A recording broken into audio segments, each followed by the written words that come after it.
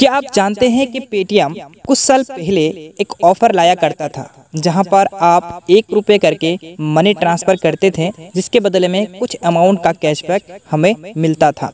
तो same to same offer फिर से बैक आया है, यानी कि Paytm P two P offer फिर से बैक आया है। तो इस ऑफ़र में भी आपको एक रुपए करके मनी ट्रांसफ़र करना होगा, जिसके बदले में कुछ अमाउंट आपका कैशबैक मिलेंगे। तो करना क्या होगा? सबसे पहले आप पेटीएम एप्लीकेशन को ओपन कीजिए। ओपन करने के बाद कैशबैक एंड ऑफ़र पर आइए। आने के बाद मनी ट्रांसफ़र वाला ऑफ़र पर क्लिक कीजिए।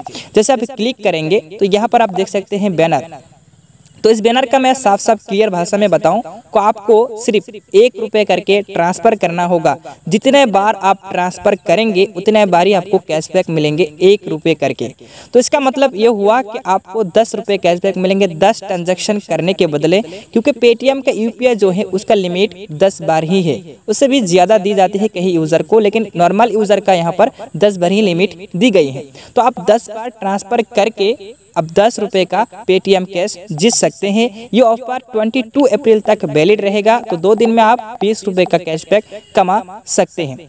तो आप मुझे कमेंट बॉक्स में ये कमेंट लिखिए कि आपके अकाउंट पर ये ऑफ़र शो हो रहा है या फिर नहीं। क्योंकि मेरे पास पाँच से अकाउंट है, सारे में ये ऑफ़र शो हो रहा है। तो आप ऑलमोस्ट ऑल यूज़र ऑफ़र है तो सभी लोग ट्राई करें ज़रूर। और कैशबैक इंस्टेंट नहीं दे रहा है। विद इन ट्वेंटी आवर्स के अंदर अंदर कैशबैक आपका बैंक अकाउंट पर क्रिएट कर दिए जाएँगे या तो फिर वॉलेट पर क्रिएट हो जाएगा।